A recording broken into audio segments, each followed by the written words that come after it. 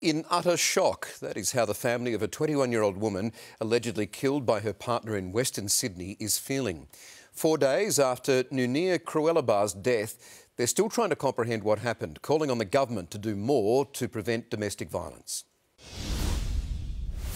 In a world of pain, we dearly miss you. Rachel is mourning the loss of her niece Nunia Kurualeba and struggling to make sense of how her nephew is now accused of the 21 year old's murder.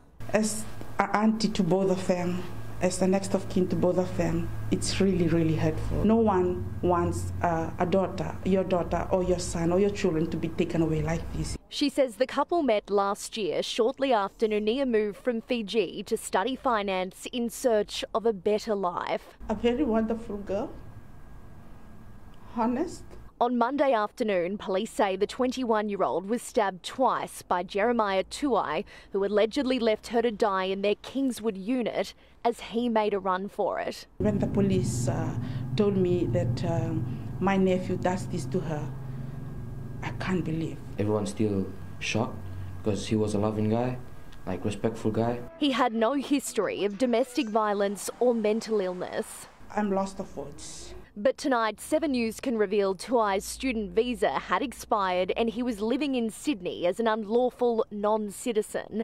The Department of Home Affairs refused to comment, saying the individual remains in custody. This matter is before the courts.